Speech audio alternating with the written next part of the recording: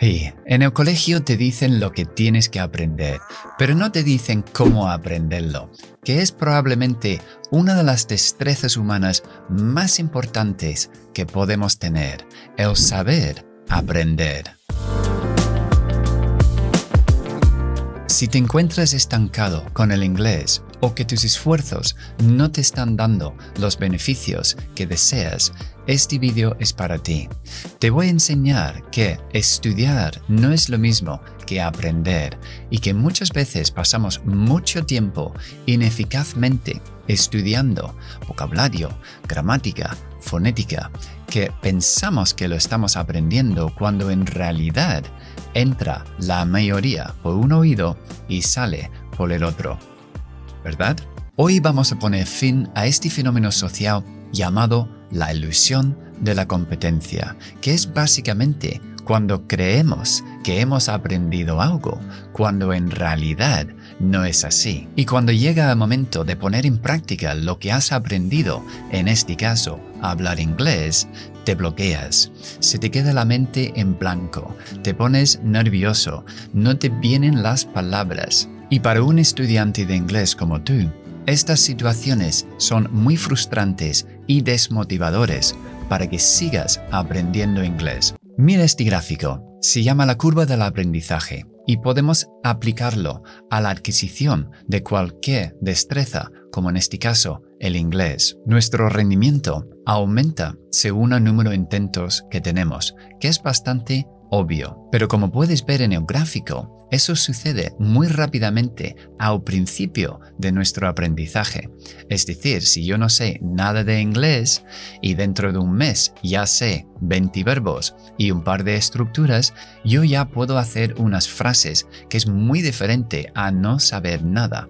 Pero llega un momento que la curva empieza a ser más plana, ya que yo ya sé algo de vocabulario, sé algo de estructura, sé algo de fonética, solo tengo que ir ampliando ese conocimiento y por supuesto poniéndolo en práctica. Y justo cuando se empieza a aplanar la curva es donde muchas personas caen de sus estudios de inglés. En inglés les llamamos falsos principiantes, personas que empiezan a estudiar inglés, cuando ya empieza a ser más difícil el progreso, lo dejan. Y luego dentro de un año o dos empiezan otra vez y lo dejan. Y empiezan y lo dejan. Y nunca terminan de alcanzar el nivel que ellos desean para hablar inglés. Así que, ¿cuál es el secreto para seguir progresando por esa parte de la curva como un Terminator que nunca para? La respuesta es aprender a aprender. Estas son las seis clasificaciones de los procesos de aprendizaje según la conocida taxonomía de Bloom. Un estudiante de inglés suele moverse por los primeros tres niveles que se llaman los niveles de pensamiento inferior que son recordar, comprender y aplicar. Vamos a poner esto en contexto. Si tomamos un tiempo verbal, como por ejemplo el presente perfecto, el pretérito perfecto compuesto en castellano, lo primero que tengo que hacer es recordarlo para poder utilizarlo. Así que memorizo la estructura, que es have o has que es el verbo haber, más un pasado participio de un verbo. Por ejemplo, yo he trabajado. I have worked. Y tengo que comprender que se utiliza para acciones en el pasado que sucedieron en tiempos no terminados. Y puedo aplicar esto en una frase cuando hablo de algo que pasó en el pasado sin mencionar el tiempo. Por ejemplo, he visto la película Titanic. I have seen Titanic. O, contracción, I've seen Titanic. En teoría he memorizado esa estructura y lo he aplicado dentro de una frase, pero lo he aprendido. ¿Lo tengo cuando yo lo necesito instantáneamente como mi lengua materna? Probablemente no. Así que ahora vamos a ver cómo aprovechar los niveles de pensamiento de orden superior para realmente interiorizar estos conceptos y retenerlos a largo plazo. Empezamos con analizar. ¿Puedo distinguir este tiempo verbal, el presente perfecto, del pasado simple y cuando se utiliza uno y cuando se utiliza el otro? ¿Puedo expresarme claramente en frases negativas, interrogativas y afirmativas con estos dos tiempos verbales y lo puedo contrastar con el pasado perfecto también. Todos esos conceptos hacen que tu cerebro trabaja de una forma distinta y empieza a diferenciar y distinguir estos conceptos para aumentar el rendimiento del aprendizaje. Ahora voy a evaluar el uso del presente perfecto y eso puede ser justificando su uso en diferentes contextos, en frases como esta. Yo vi Titanic, pero no he visto Titanic 2 todavía. I saw Titanic, but I haven't seen Titanic 2 yet. No creo que hagan segunda parte. A lo mejor Avatar debajo del agua, eso era segunda parte de Titanic en la mente de James Cameron. ¿Te das cuenta que ya he mencionado tres películas de James Cameron? Terminator, Titanic y Avatar. Casualidad. Bueno, volvemos a la frase. I saw Titanic. Yo vi Titanic. Empiezo con un pasado simple porque el momento de ver el Titanic ha terminado, así que es un tiempo terminado, pasado simple. Pero I haven't seen Titanic 2, no he visto Titanic. La segunda parte, eso es un presente perfecto porque la acción alcanza el momento presente, así que es un tiempo sin terminar. Así que justifico el uso del presente perfecto. Sigo aumentando el rendimiento de aprendizaje con esta evaluación que estoy haciendo de la estructura del presente perfecto. Y por último, vamos a crear algo nuevo. Y esto no solamente es hacer una frase y ya está, vamos a contextualizarlo mucho más. Yo puedo hacer redactar un informe que en cada dos frases estoy utilizando el presente perfecto o incluso el presente perfecto continuo también para ir contrastando esos dos tiempos para poner en práctica los tiempos no terminados. Puedo escribir un artículo sobre la inteligencia artificial actual utilizando el presente perfecto como mi tiempo verbal principal. Eso es creación. Bien, estos son los tres niveles superiores más potentes para estimular tu aprendizaje y subirte más por esa curva. Lo puedes aplicar, como lo hemos hecho, a un tiempo verbal a un concepto de fonética, incluso a un verbo frasal. No siempre tienes que incluir los seis pasos. Intenta siempre estar en la zona de arriba. Tienes que hacer la parte de abajo porque hay que recordar, hay que comprender y hay que aplicar. Pero luego lo importante es subir ese conocimiento arriba y empieza a pasar por esas fases las veces que puedas.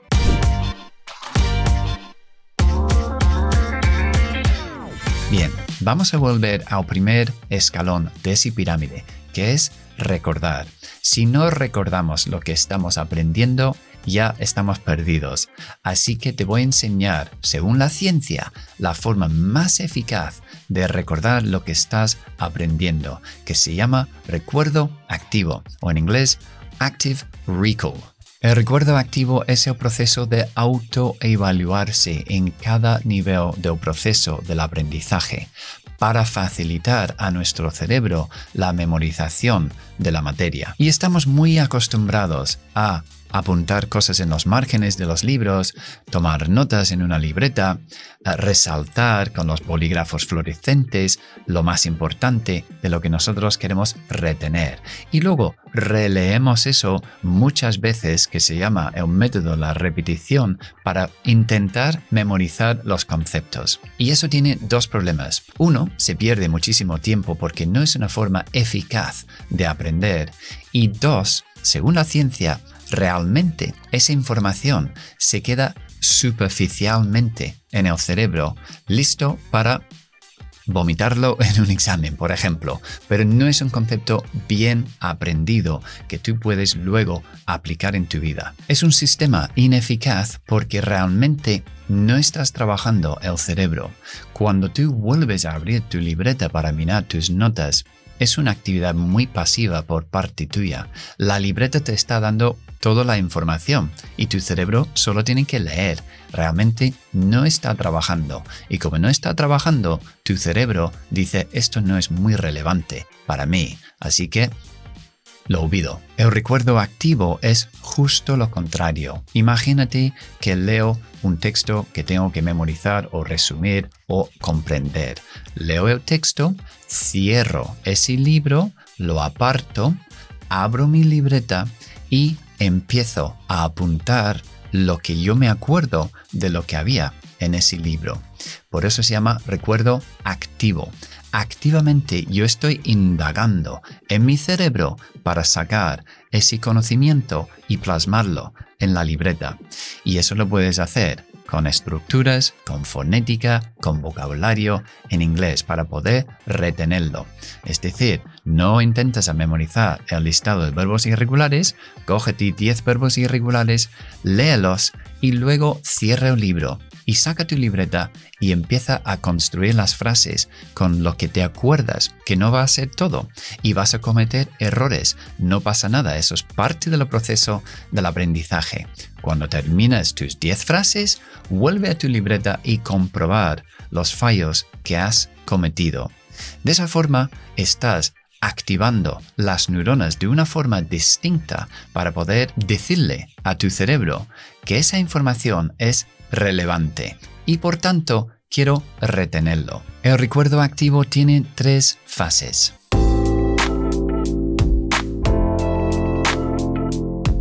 Como hemos dicho antes, la autoevaluación. Si yo estoy aprendiendo todos los verbos frasales con la palabra look, pues yo tengo mis 10 verbos frasales con la palabra look en, en una libreta, los leo y cierro la libreta y empiezo a hacer frases con cada uno de ellos. Y empieza a hacer frases en pasado, en presente perfecto, en futuro, en tercera persona, negativa, interrogativa. Así estoy utilizando la parte alta del pirámide de taxonomía de Bloom para poder retener mejor y encima estoy usando el recuerdo activo. Después, consulto con mi libreta para saber si yo he usado esos verbos frasales correctamente según el significado que tienen.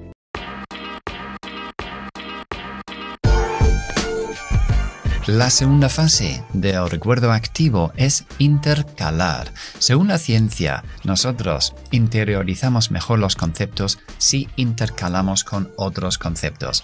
Es decir, no te quedas con los verbos frasales todo el día, intercalarlos con una estructura gramatical, un poco de fonética, un poco de listening, práctico hablando. De esa forma, lo que estamos haciendo es hacer asociaciones entre otros conceptos dentro del cerebro. Y el cerebro empieza a unir y decir, oye, ese verbo fraseo que estaba ahí lo has usado en el presente perfecto y la palabra look uh, tienen este símbolo fonético que lo estás estudiando hoy. Y ese verbo fraseo también ha salido en el listening. Y nosotros empezamos a hacer asociaciones y el cerebro de repente dice esta palabra look tiene que ser súper importante porque me sale hasta en la sopa. Lo retengo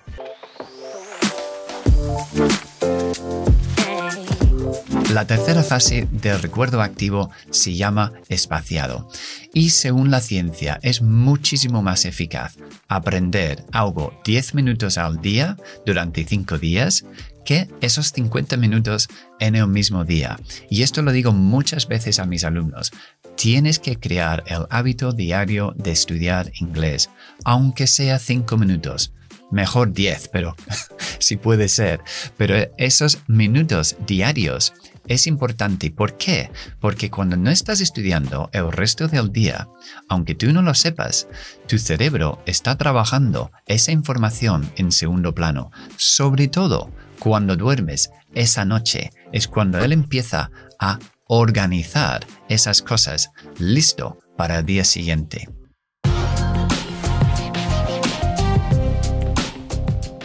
Nuestro cerebro tiene una capacidad de carga limitada y una buena forma de mantenernos dentro de esas capacidades es aplicando una técnica que se llama la técnica del La idea es muy sencilla, simplemente vamos a cortar nuestro tiempo de estudio en pequeños bloques y entre bloque y bloque vamos a descansar unos minutos. Algo que funciona muy bien con intercalar del recuerdo activo, porque en cada bloque podemos estudiar algo distinto. En términos científicos, estamos cambiando el modo de nuestro cerebro de concentración a difusión para facilitar la codificación de la información que estamos aprendiendo.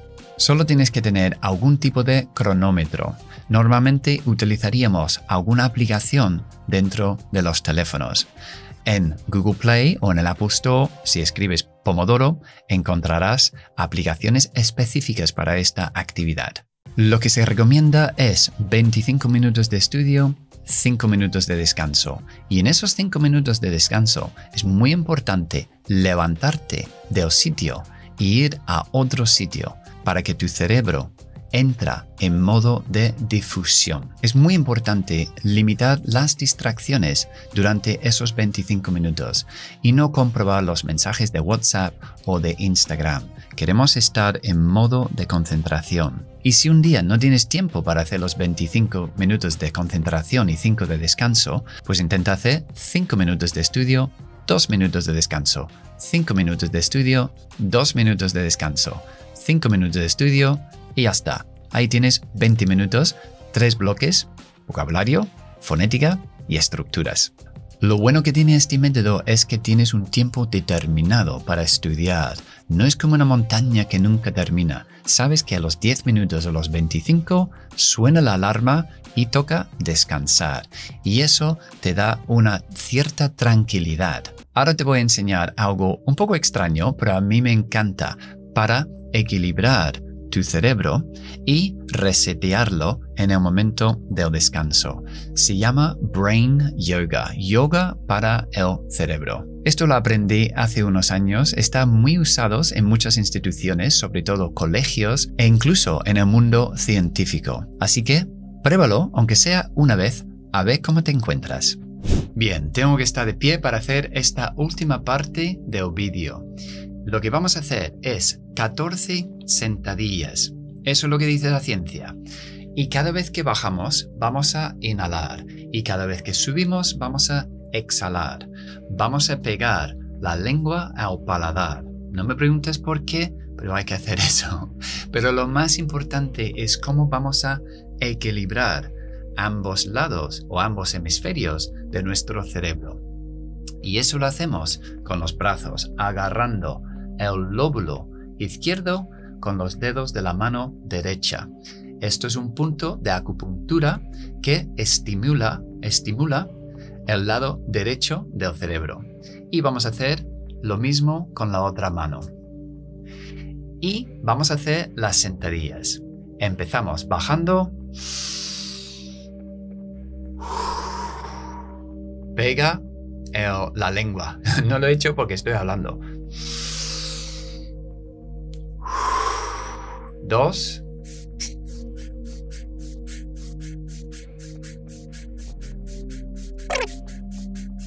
Y ya está. Y ya verás cómo te sientes totalmente nuevo para empezar a estudiar de nuevo. El yoga para el cerebro tiene otros muchos beneficios para la salud, pero ya te dejaré a ti investigar por tu cuenta. Ahora te voy a enseñar cómo forzar tu cabeza a pensar en inglés, viendo este vídeo que aparece aquí en pantalla.